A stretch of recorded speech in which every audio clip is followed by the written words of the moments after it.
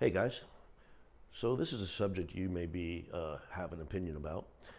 I recently had somebody from out of town ask me, "Are there any dive bars in St. Petersburg downtown area?" And I thought about it, and I thought, what are real dive bars? What is a real dive bar? What is the definition of a dive bar?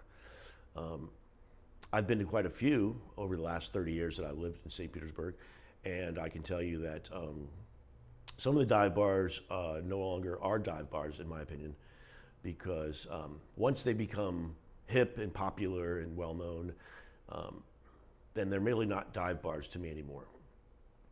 Um, I used to work right above one of the uh, famous dive bars in St. Pete, uh, Mastry's. And I had an office directly above Mastry's. And I can tell you that Mastry's was a serious dive bar. They opened at 9 a.m. Um, they allowed smoking and probably encouraged smoking. I can tell you because uh, the smoke permeated up into the ceiling into my office and uh, created uh, a nasty smell up there. Um, there's also uh, opinions about what is a dive bar, and I'd like to hear what you guys think is a dive bar um, and why. Um, I think that uh, Emerald is a good example. Um, Steve's Tavern. Uh, Steve's Tavern only takes cash. No credit cards, no Apple Pay, just cash.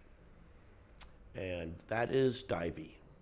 Um, there is also a place called the Flamingo that's on 9th Street near Hook's uh, Seafood. Well, I'm sorry, sushi. And uh, that's a pretty well known divey bar. But is it a dive bar? What about Shadrack's over on Pass-a-Grille? Um, I think a dive bar, in my opinion, is a bar that has to allow smoking and you feel like your life it could be seriously in danger. Uh, I've been to uh, the Pelican Pub, which is on the Jannus uh, landing block, uh, about 20 years ago, which when at that time it really was a dive bar, scary place. And I had a guy pull a knife on me in there because I didn't have a pack of cigarettes for him. And um, so uh, there's few places left uh, around town um, that could be considered a dive bar.